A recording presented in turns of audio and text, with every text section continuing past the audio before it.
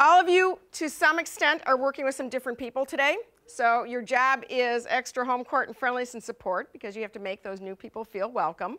And the other thing too is to get warmed up for the discussion that you're going to have in writing in a few minutes. We're going to do a membership grid. So grab your membership grid, put down today's date.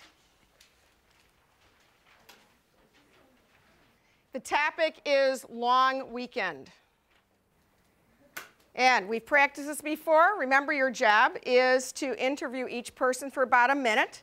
Everyone else in the group gets to ask questions. Your goal is to get detailed answers.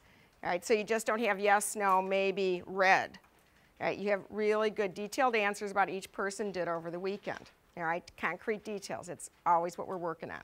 Okay? All right, turn back to your group, decide who's going to start, and go. What did you do this weekend? I was grounded. What were you grounded for? My grades, What else? bad behavior. Is that all you did? Yeah, Oh, sounds like an interesting weekend. Fun, yeah. fun man, weekend. real fun. How long are you grounded for? I don't know. End the semester.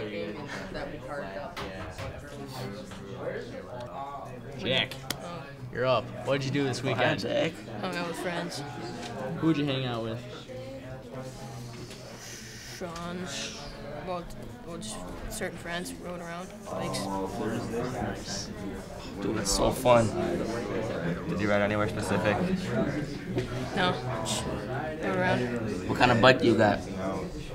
Diamondback. Did you do anything else interesting? Watch, watch Fast Five. Oh, that's a good movie, man. Who's your favorite character or actor? O'Conner. Wait, what's Fast Five again? Is that like the Movie. It's a new movie. It's like what is racing movie? Is that like the fifth Fast Furious? Yeah. Yeah. Oh,